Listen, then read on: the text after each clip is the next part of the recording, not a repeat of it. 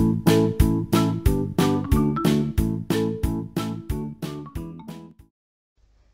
Viewers कैसे आप सभी लोग? Welcome back to my channel तो व्यूवर्स आज हम लोग ऑटो कैड में किसी भी स्ट्रक्चर की स्क्वायर फिट के बारे में जानेंगे कि हम लोग कैसे स्क्वायर फिट लगा सकते हैं प्लॉट की।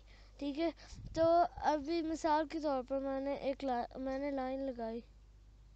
ऐसे ऐसे। और यूँ तो व्यूअर्स फॉर एग्जांपल अभी हमारा प्लॉट हो गया मिसाल के तौर पर, ठीक है? तो अगर हमने अगर हमने इसको, इसकी, अगर हमने स्क्वायर फिट जानना है तो फिर हम लोग पॉली लाइन लेंगे, ठीक है?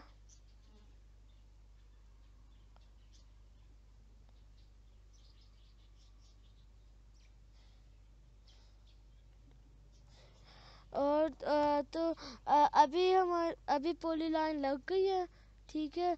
तो फिर इसके बाद हम लोग कमांड लगाएँगे एल आई इसका मतलब है लिस्ट फिर एंटर ठीक है?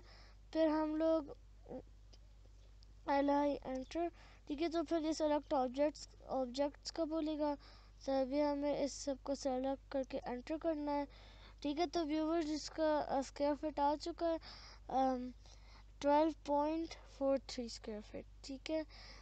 तो व्यूवर्स इसके साथ साथ हम, हमारी वीडियो का एंड हो चुका है. And don't forget to like share and subscribe my channel